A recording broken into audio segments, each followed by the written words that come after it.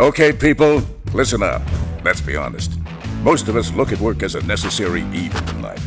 Labor is something we have to do to make ends meet. And we all know who to thank for that. This guy. Remember when God told Adam the ground is cursed because of him? And now everyone will have to toil in pain? Thanks a lot, Adam. Work is what it is. It may seem like a curse or a necessary evil, but in fact, it is part of God's plan for us. Genesis 2:15 explains that God placed man in the garden to maintain it. In other words, God always had plans for us to work in some form or fashion. On top of that, our work ethic is an opportunity to honor God. So God is a big fan of us working hard. However, God is also a big fan of us resting well. Before he created man and put him in the garden to work, God set the example for us. He worked hard and then he took time to rest. To make sure we followed his example, God initiated the Sabbath, a day set aside for rest. Exodus 16:23 says, "Tomorrow is a time of cessation from work, a holy Sabbath to the Lord." Mark chapter 6 shows us that Jesus encouraged his disciples to come away and rest a while. The simple truth is, God didn't create us to be human doings. He created us to be human beings. Sometimes we need to shut off our brains, shut off our bodies, stop doing, and just be. So today, take a break from your toiling. Take an extended Sabbath, if you will. God is proud of your hard work. Now honor him by resting well.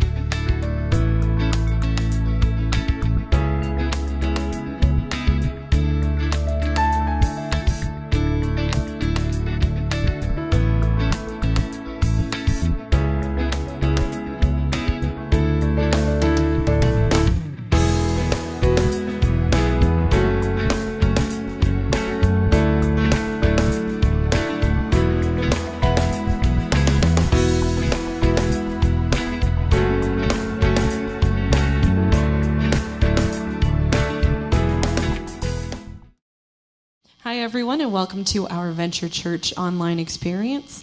We are so happy that you're going to worship the Lord with us. Please sing with us.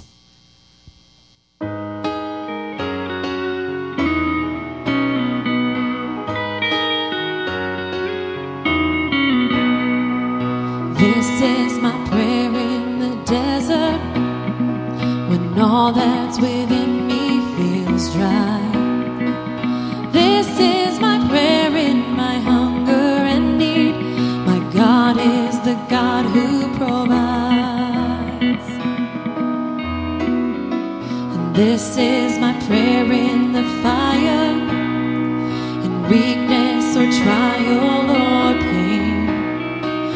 There is a faith proved of more worth than gold. So refine me, Lord, through the flame. And I will bring praise, I will bring praise. No weapon formed against me shall remain. I will rejoice,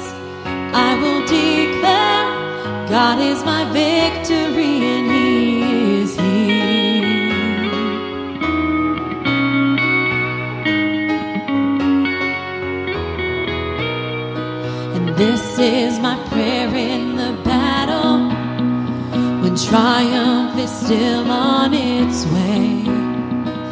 I am a conqueror and co heir with Christ, so firm on his promise I'll stand. And I will bring praise, I will bring praise. No weapon formed against me shall remain. I will rejoice,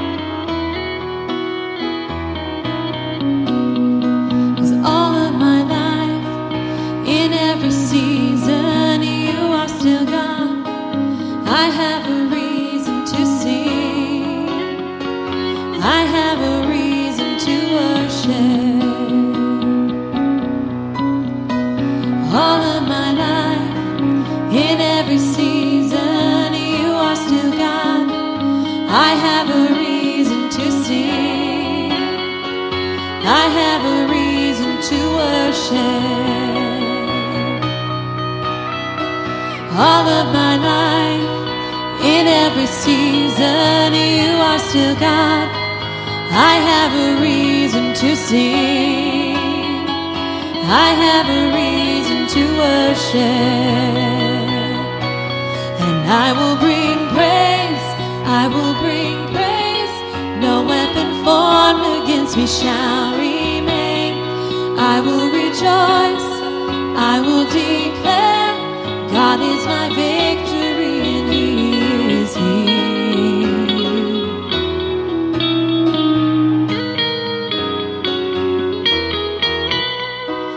This is my prayer in the harvest when favor and providence flow. I know I'm filled to be emptied again. The seed I've received, I will sow.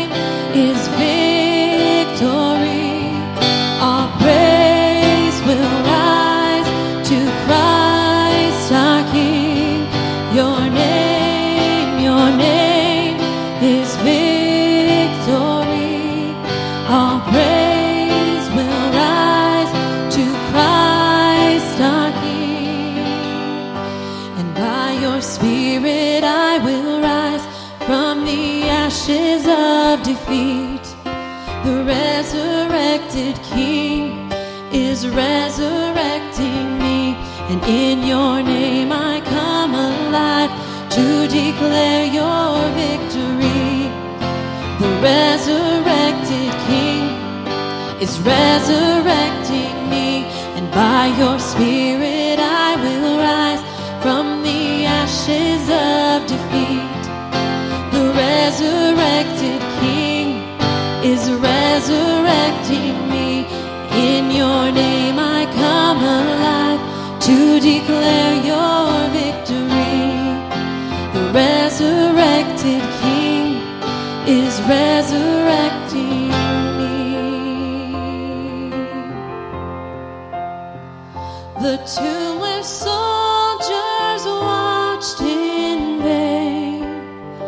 Was borrowed for three days.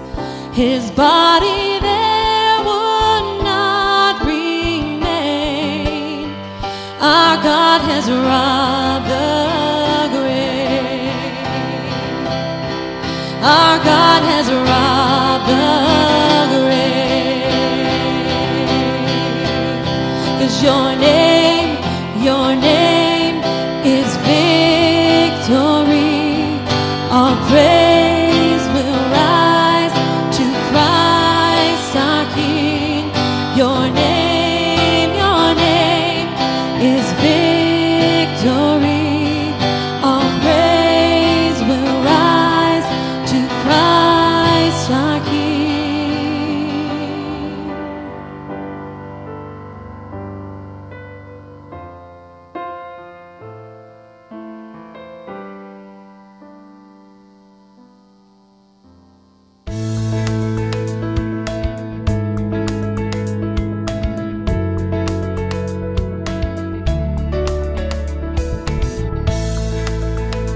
Welcome to Venture Church. I'm honored that you've joined us today for the beginning of a brand new series that I'm calling Part of Something Big.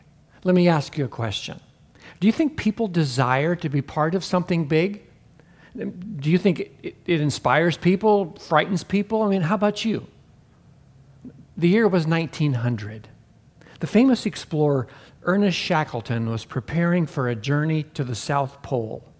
Now, not only was he going to need tons and tons of equipment, but he was going to need some top notch men, men who would be willing to risk everything, risk their lives for the chance to be first to reach the South Pole.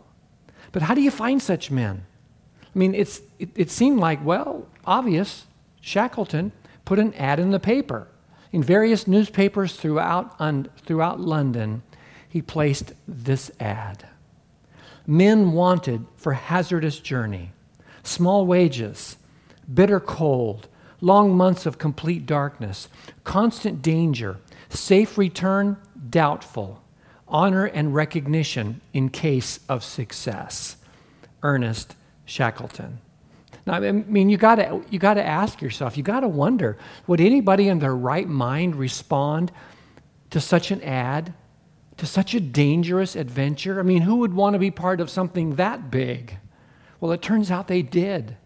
Shackleton said it seemed as though all the men of Great Britain were determined to accompany him. Now, why? Why? Well, I think it's because God has wired all of us with a, with a deep and innate desire to be part of something big. The trouble is, most people just don't know how.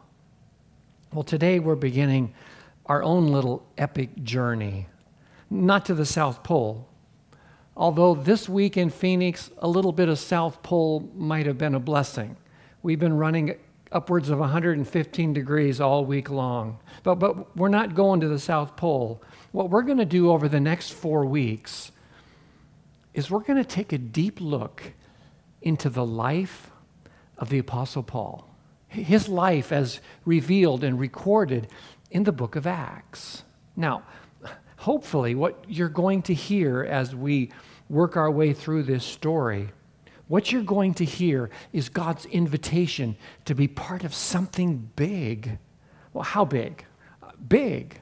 I mean, bigger than the South Pole, right? See, what's going to happen in the book of Acts is the gospel of Jesus Christ is going to be preached to the world.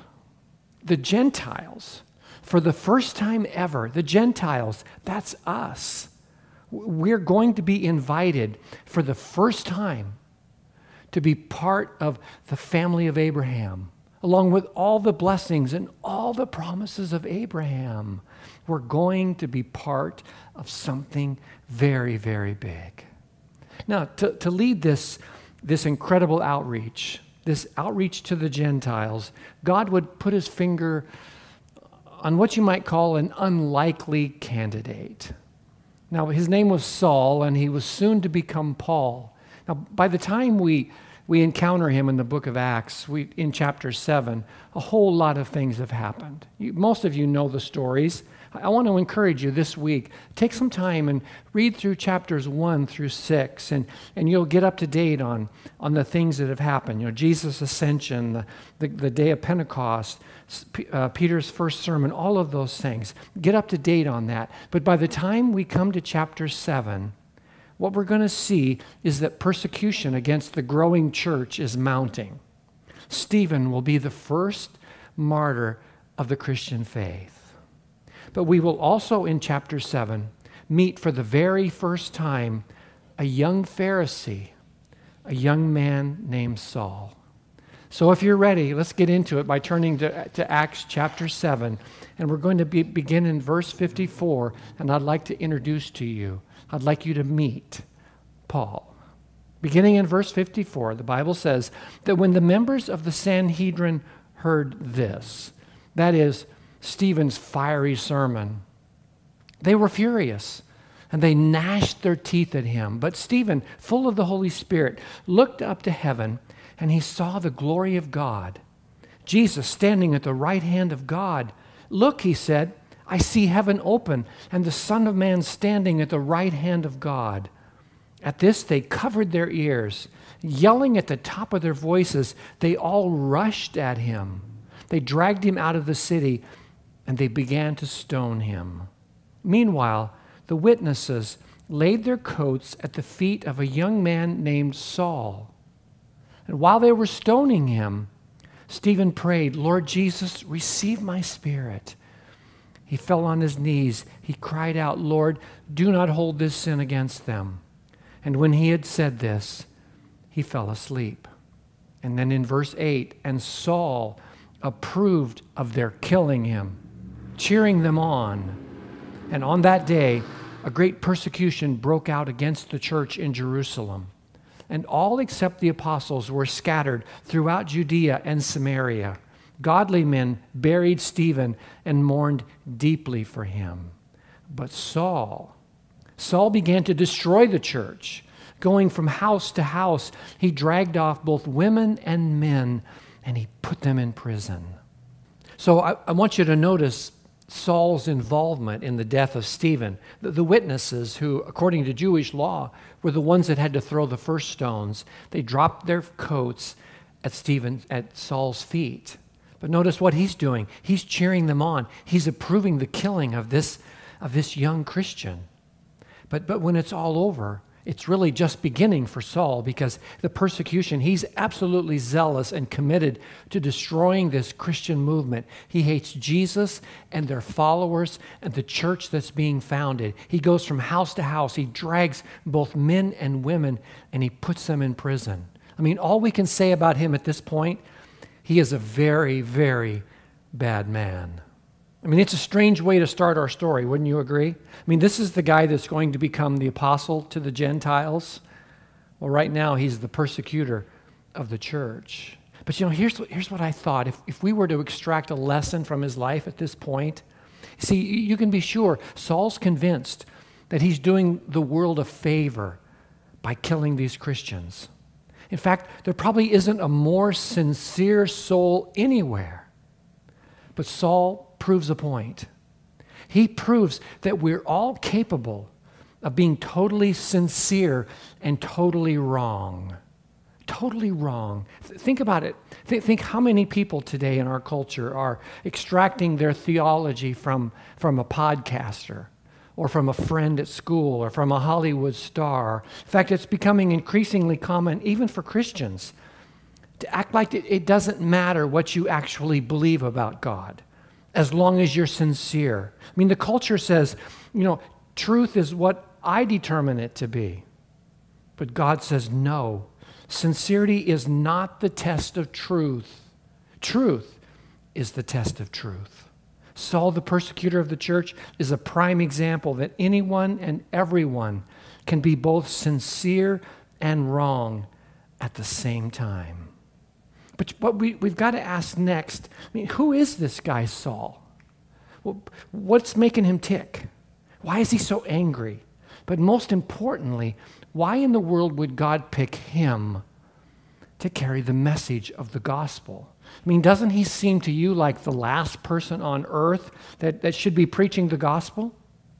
Well, to answer these questions, I'd, I'd like to take you to the end of Paul's life. Now, we started in the, chapter 7, which is the introduction to Saul, and now I want to take you to the conclusion of his life. And there he's going to offer a testimony, a testimony of his life that's going to give us some profound insight into who he is and why God called him.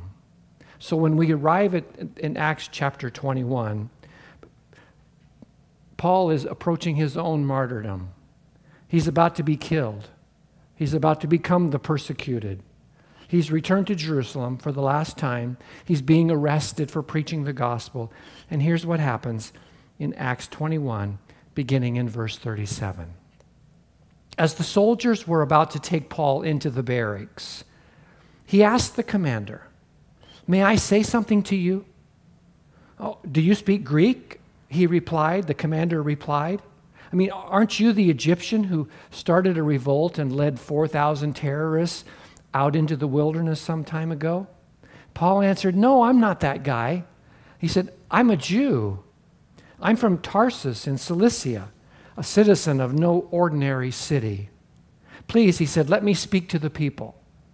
So in verse 40, after receiving the commander's permission, Paul stood on the steps and he motioned to the crowd. And when everyone was silent, he said to them in Aramaic, He said, Brothers and fathers, listen to my defense. And when they heard him speak to them in Aramaic, they became very quiet. And then Paul said, I'm a Jew, born in Tarsus of Cilicia, but brought up in this city, Jerusalem. I studied under Gamaliel, and I was thoroughly trained in the law of our ancestors. I was just as jealous, as zealous for God as any of you are today. I persecuted the followers of this way to their death, arresting both men and women, throwing them into prison, as the high priest and all the council themselves can testify. I even obtained letters from them to their associates in Damascus and went there to bring these people as prisoners to Jerusalem to be punished. Paul's testimony, as, as he stands at the very end of his life, he gives us a powerful window into who he was.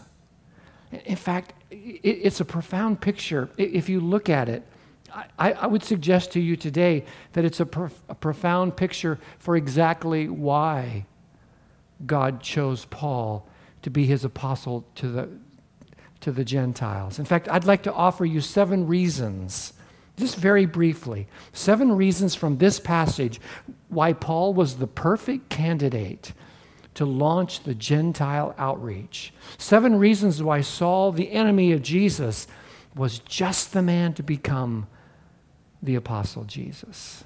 He was the perfect choice. Reason number one, he was born in Tarsus. Now, Tarsus was the capital city, capital of Cilicia. Now, that, that's where modern day Turkey is today. You see, to be born in Tarsus was, was a privilege. It was an incredible city. It was a cultural and an intellectual center. It was a highly respected Gentile city. To be born in Tarsus gave you immediate citizenship into Rome. Now imagine Paul as he travels through the Gentile world proclaiming the gospel. It, it, would have been to no advantage to, to have been from Jerusalem. People from Jerusalem couldn't speak to Gentiles. But to be from Tarsus, a highly respected Gentile city, it gave, it gave Paul an immediate inroad, the perfect place to be from. But number two, it, it gave Peter, it gave Paul citizenship of Rome. He was a citizen of Rome. And that, did that help him? Of course it did. As, as Paul would travel throughout the Gentile region, his citizenship provided him incredible protections. It opened doors of opportunities. In fact, there were even times in his life when being a citizen of Rome saved his life. God knew that the apostle to the Gentiles would need to be a citizen of Rome. Number three, he was fluent in languages. Did you notice the languages that he spoke? He, he spoke to the commander in Greek. He, he couldn't believe it that this man was speaking to him. And when he turned then to, to speak to the crowd, he spoke in Aramaic. How's that possible? Well, he was from Tarsus. As a young man, he moved to Jerusalem and he studied law and philosophy in Jerusalem. Paul could speak the languages of the people Greek, Aramaic, and Hebrew. Imagine every place he traveled, he was fluent in the languages. He was the perfect candidate to be the apostle to the Gentiles. Number four, he studied with Gamaliel. Now, now Gamaliel was the most highly respected Pharisee of his day. He, he was a member of the Sanhedrin. He was honored by all, the scripture says. In fact, in, in Acts chapter 5, there's a famous story where Gamaliel saves the day. Everyone respected him. So imagine Paul as he's, as he's preaching the gospel in these Gentile cities and he goes to the synagogues. No one wants to hear him until he says he was a student of the famous Gamaliel. It was an automatic inroad. He was the perfect choice to be the apostle to the Gentiles. Number five, he says that he was brilliant in the law. What does that mean? Well, he understood the law, he studied the law, he, he, he was taught to think, he was taught to reason. In fact, his keen mind, his brilliance, allowed him to bring a, a theological depth to his letters that we are still indebted to. He was the perfect choice. He was the man with the right, brilliant mind for the job. Number six, he was zealous in his heart. See, Paul had zeal, whether it was for God or, or whether it was for chasing down his enemies. This was a young man that if something captured his heart, he worked hard at it every single day. In fact, the stories are all through Paul's many missionaries' journeys, relentless years of travel and preaching, hardworking zeal that he brought to the mission. He was the perfect candidate for the task. But finally, reason number seven why I would suggest to you that Paul was the perfect choice for the job. Number seven, he persecuted the church. He persecuted the church. Now, you, you might say, no, that can't be the, the perfect reason. In fact, that seems like the reason why he couldn't be. But I would suggest to you that it was perhaps one of the strongest reasons that God chose the Apostle Paul.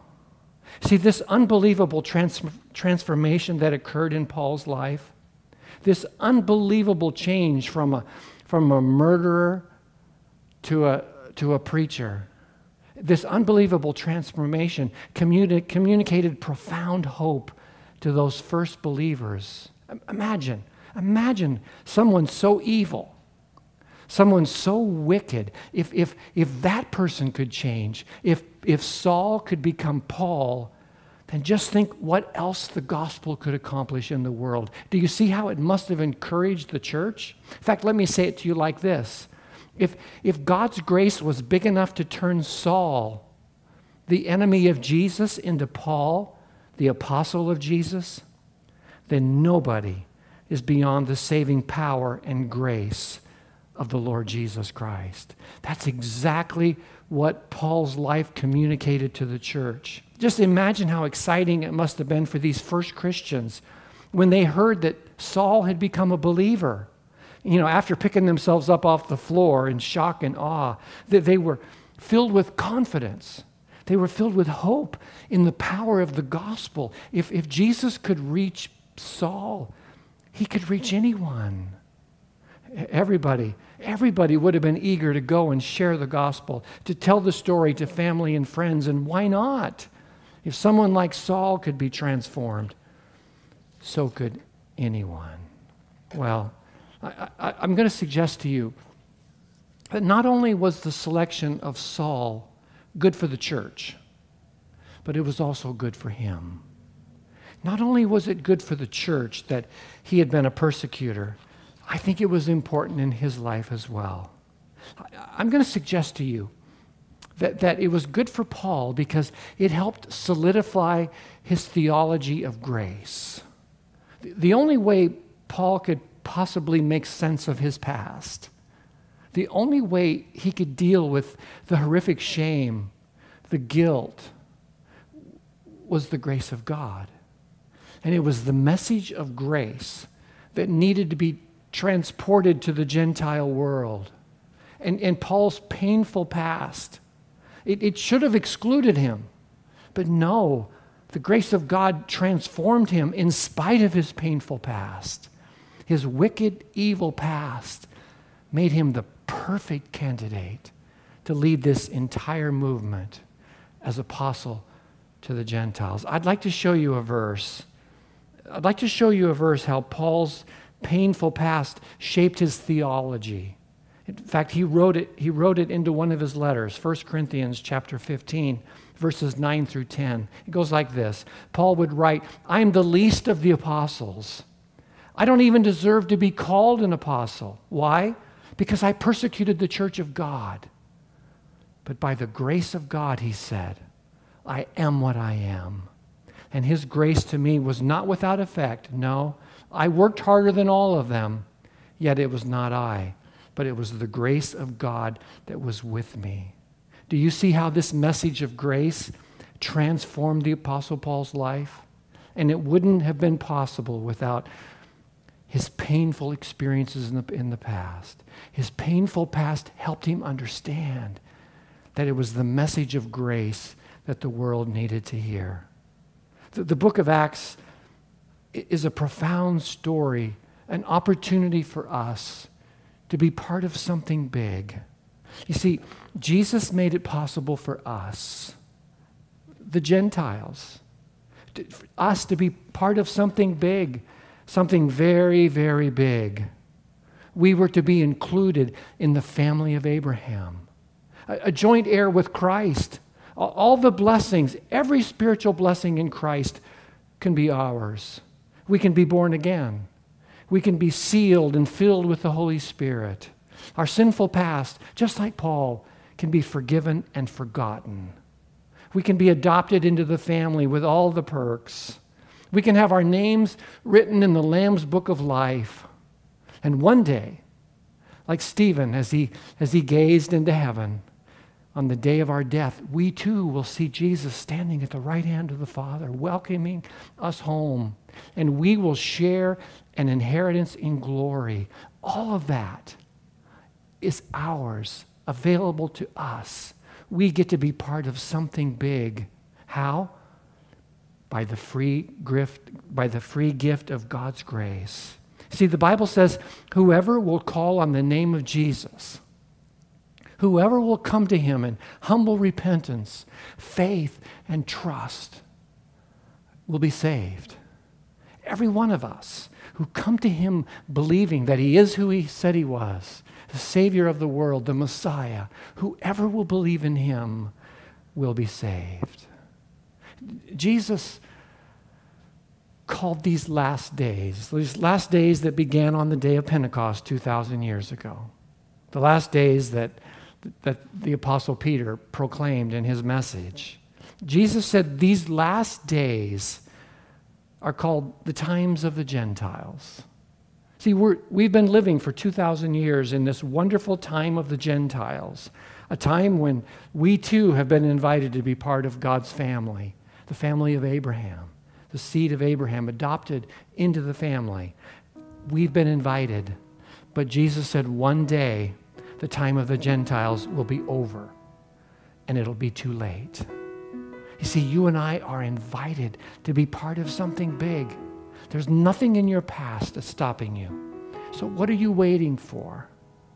Have you put your trust in Him? Have you put your faith in Jesus?